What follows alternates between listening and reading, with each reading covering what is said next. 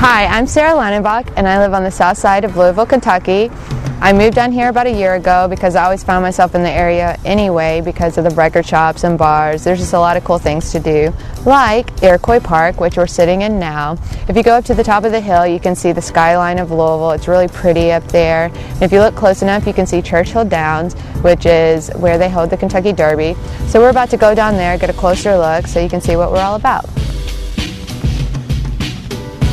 Here behind me is Churchill Downs, home of the Kentucky Derby. This May is going to mark the 131st Kentucky Derby race, which is a really big deal.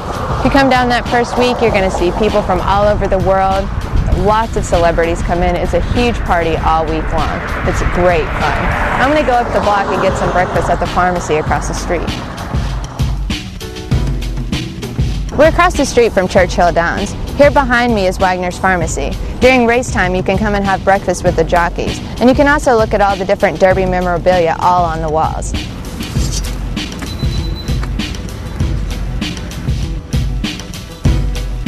We're on our way to my favorite record shop, but I couldn't resist stopping at the Louisville Skate Park. It's one of the biggest, baddest concrete parks in the nation, and it's free. If you stick around long enough, you're going to see some crazy crashes and some sick skating. So come on, let's take a better look.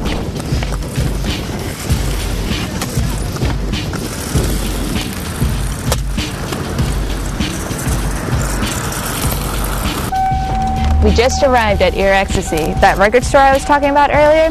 Now, it's the largest independent record store in all of Louisville. I guarantee you're going to find any kind of music here, from country to independent rock.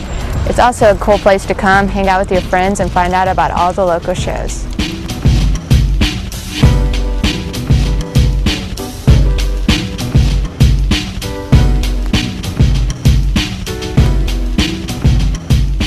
We stopped down at Jenny's Diner, home of the Sweet Daddy Burger.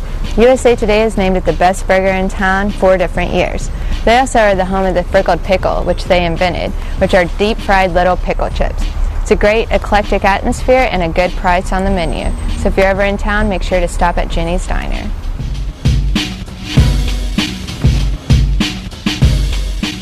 Well, it's getting late and cocktail hour has begun, so I think I'm going to go take part at the Mag Bar, which is definitely my favorite bar in Louisville. It's been here for about 50 years. The jukebox is the best jukebox in town, like no lie.